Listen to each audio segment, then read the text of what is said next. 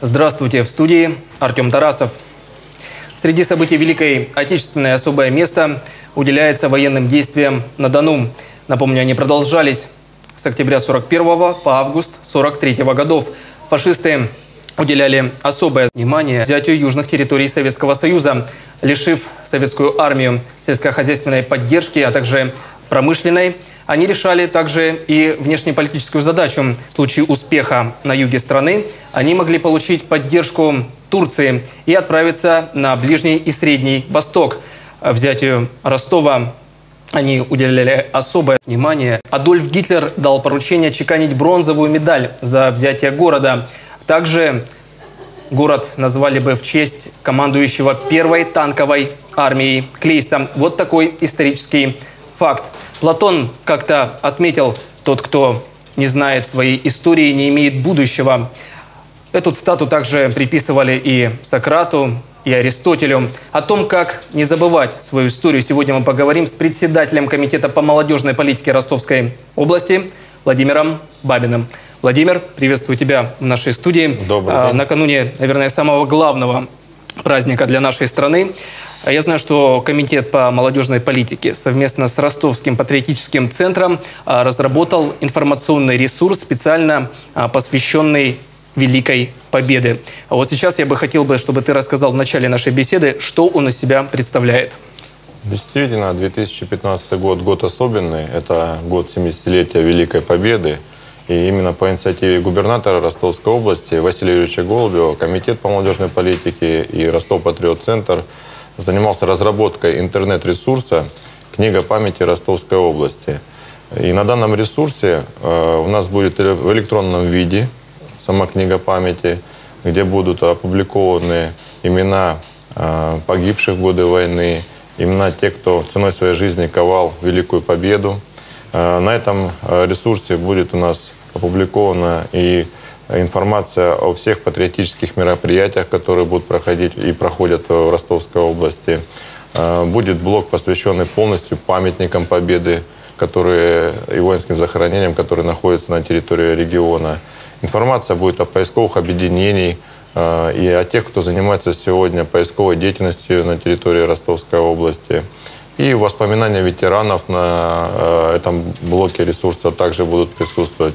То есть все, что касается истории, памяти и сегодняшней деятельности по патриотическому воспитанию, мы решили объединить вот такой интернет-ресурс, э, который будет называться вот, «Книга памяти Ростовской области». Сейчас каждый желающий уже сможет зайти на информационный ресурс и получить к нему доступ.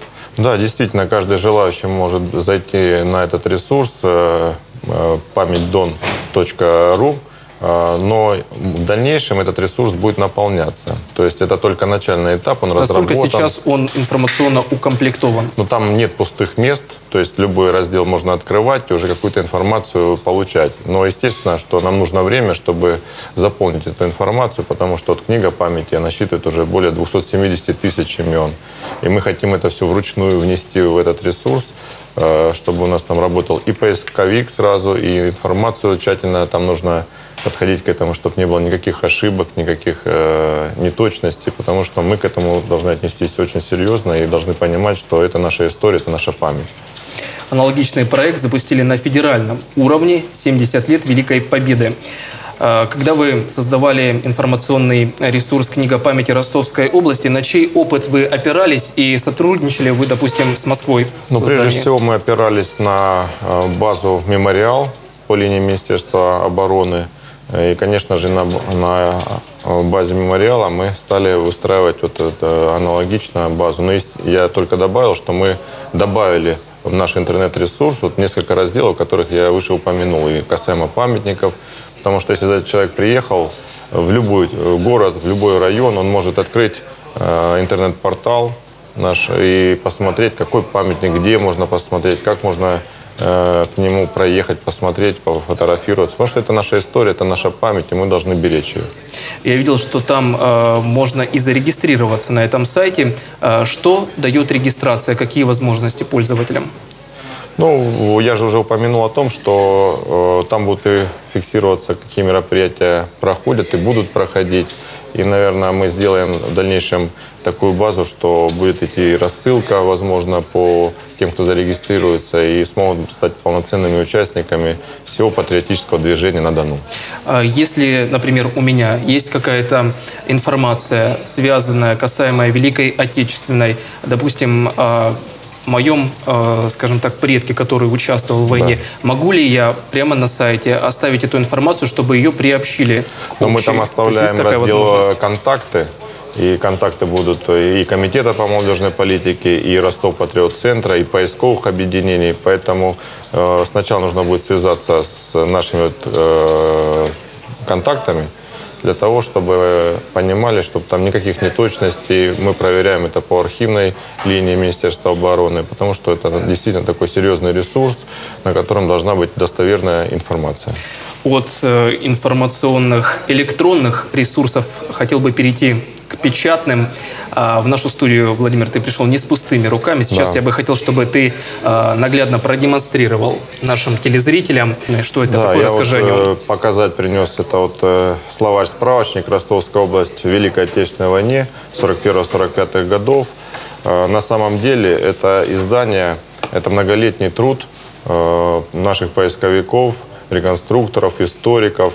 И автор-составитель Щербанов Владимир Кириллович – он возглавляет наше поисковое движение «Память поиск», входит в состав э, поискового движения России.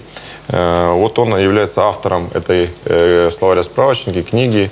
Именно я считаю, что аналогов таких нет.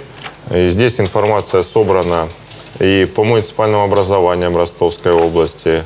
Э, касаемо... Иллюстрации есть какие-то? Есть иллюстрации здесь, и она здесь касается различных исторических фактов, естественно, достоверных. Как долго собирали информацию и готовили издание? Это многолетний труд, еще раз говорю. Э, несколько лет, э, в 2010 году выходило такое пер, первое издание.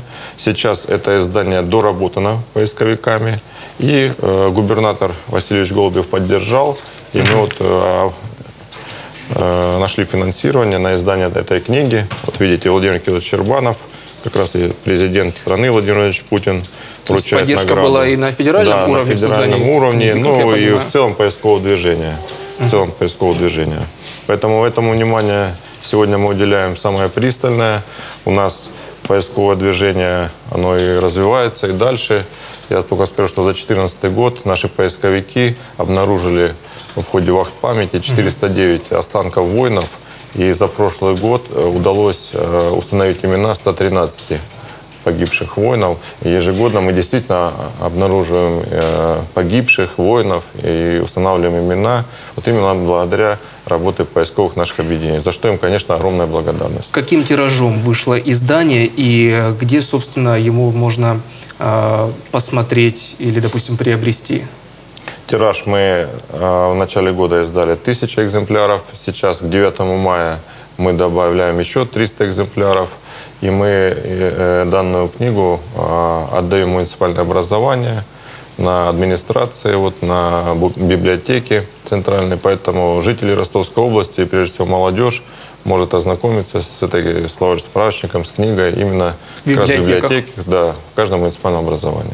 А вот касаемо ветеранов, то есть какие-то подарочные издания? Конечно, подарочные издания, да, мы подарим в Совет ветеранов как раз вот эти 300, которых я сказал, это как раз будет подарочный вариант. Э, это мы их подарим и в Совет ветеранов муниципальных образований, и поисковым объединениям, ну и угу. ветеранам Великой Отечественной войны. Сейчас я бы хотел поговорить о волонтерском корпусе, с которым Комитет по молодежной политике э, взаимодействует. Э, что из себя представляет этот корпус и какие задачи комитет перед ним ставит? Ну, задачи нам ставит Федеральное агентство по делам молодежи и э, Роспатриот-центр. Именно под их эгидой был образован федеральный, это волонтерский корпус 70-летия Победы. И мы, как э, субъект Российской Федерации, естественно, присоединились к этой вот, э, волонтерскому корпусу. И на сегодня у нас уже более 5 тысяч активных участников волонтерского корпуса 70-летия Победы. И, естественно, все, которые патриотические мероприятия проходят и будут еще проходить в течение этого года и в дальнейшем, э, наши волонтеры активное участие принимают. И смысл и идея самого волонтерского корпуса – это не только к 9 мая э, по все патриотические наши мероприятия, акции, там и Георгиевская ленточка, и удели внимание ветерану, и у нас месячник «Победа-70», и многие другие.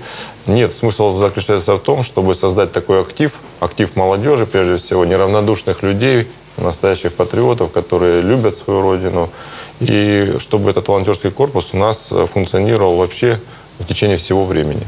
Вот идея именно такова. Сейчас я бы хотел, чтобы ты рассказал, каким событиям волонтерский корпус и комитет э, по молодежной политике э, уделяет особое, скажем так, внимание, какие события, именно связанные с Великой Отечественной акцией, ты бы хотел выделить особенно и почему? Ну, во-первых, э, особое внимание мы уделяем, конечно же, памятникам, воинским захоронениям, одиночным могилам. То есть э, мы именно и настраиваем нашу молодежь, чтобы вот активно в этом плане позаниматься и уделить внимание вот, даже вот всем, всем могилкам, всем воинским захоронениям, всем памятникам. И молодежь, если вы посмотрите по соцсетям, самое активное принимает участие вот, в благоустройстве, наведении порядка, уделении внимания ветеранов. И это не может нас не радовать. В частности, в 15.00 6 мая на Самбекских высотах Никлиновского района у нас состоится митинг с участием губернатора и закладка камня по строительству музейного комплекса, посвященному Великой Отечественной войне. И состоится небольшая военно-историческая реконструкция от наших реконструкторов. Там же все в одном месте 6 мая, поэтому приглашаем всех желающих принять участие. Какие акции готовит комитет по молодежной политике, в которых э, могут принять участие в преддверии Дня Победы и, собственно, в сам праздник жители Дона и гости нашего края? Мероприятия самые различные. Это и автопробеги, велопробеги. Это и у нас акции «Георгиевская ленточка», это и массовое исполнение песни э, «И День Победы». Вот об этом поподробнее. Год назад возле ДГТУ был установлен рекорд. Девять с половиной тысяч человек пришли да, и да, вместе да. Э, исполнили песню «День Победы».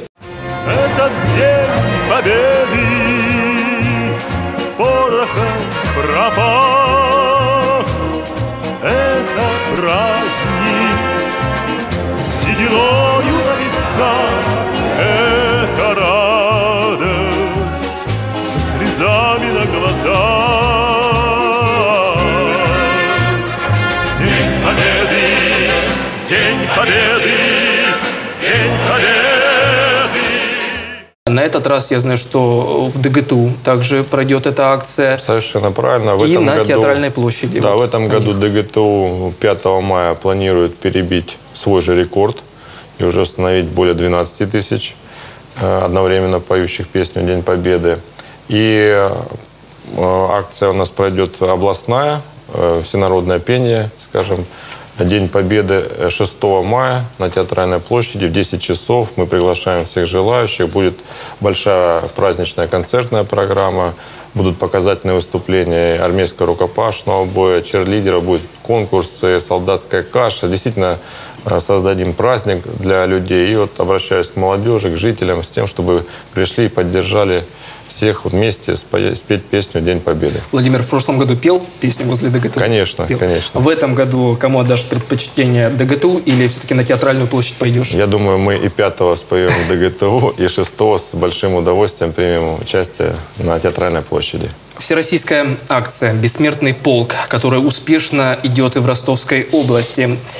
Ежегодно в составе главного парада страны идут потомки тех, кто участвовал в Великой Отечественной. Потомки несут, естественно, фотографии своих героев. В прошлые годы принимал участие ты в этой акции, и в этом юбилейном году есть ли у тебя это в планах? В прошлом году, к сожалению, я не принимал участие в акции, как участник, естественно, а не как организатор. В этом году я планирую принять как участник именно акции. И я прекрасно знаю историю и дедушек, и бабушек, и в частности, вот моя бабушка, она, она в 17 лет попала в концлагерь, и всю войну была в концлагере в Германии. Другая бабушка работала медсестрой тылу. Там дедушка у меня командовал разведротой танковой, освобождал и Старопольский край, и Ростовскую область. На всю войну прошел на Т-34.